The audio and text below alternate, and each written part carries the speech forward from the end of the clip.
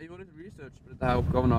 Eh, det spøkelset som skal liksom være her, som vi skal dokumentere, er jo eh, ei jente som er fra 1800-tallet, som var her da når eh, de spedalske holdt til her. Faen, dette her er så jævla teit. Syns det, ja. For en oppgave, egentlig. Det er ikke noe seriøst gøy Finn er et spøkelse, liksom.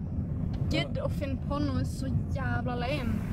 Hva syns dere på egentlig om oppgaven? Læreren kommer alltid med sånne oppgaver. Jeg vet ikke hva jeg skal gjøre. Hva syns du, Ingvild? Eh, jeg syns denne oppgaven her var dritkjedelig. Vi må seriøst få gjort noe med Men vi må bare ta det som det kommer. Det er ikke noe verre enn det. Ja. Endelig framme.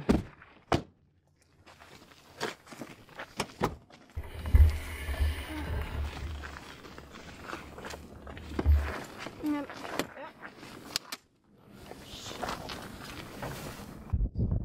Action!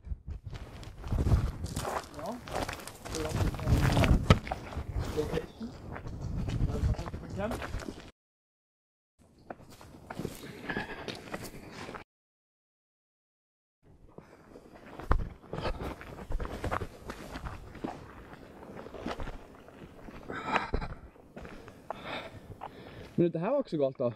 Nei, jeg tror dette er plassen. her.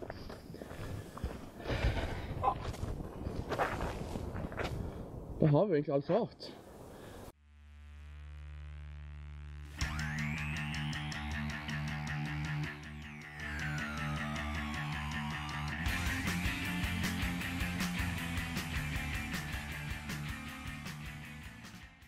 Du, hva skal vi gjøre nå for noe?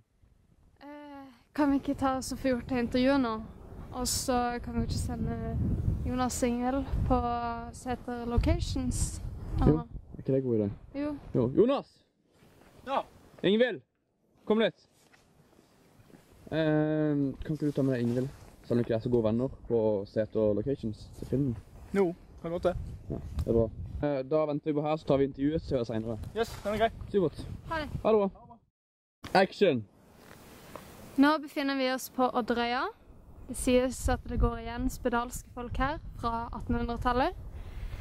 Det har blitt observert ei jente i en hvit kjole her opptil flere ganger, så det skal bli interessant å se hva vi kan få på film. Han ikke kommet tilbake enda. Han har vært vekke nå i snart to timer. Han, han kan ikke være svine sånn på den her.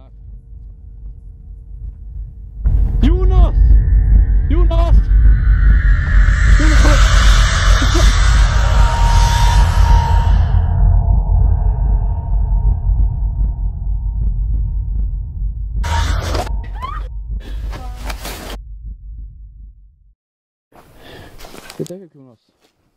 Det er bare teip. Hva faen er galt med den gutten for noe? Sånn helt seriøst. Hører er musikk? Jeg har musikk. Hører du musikk? Nei. Ja. Faen, det er sikkert Jonas som er inne i bunkersen.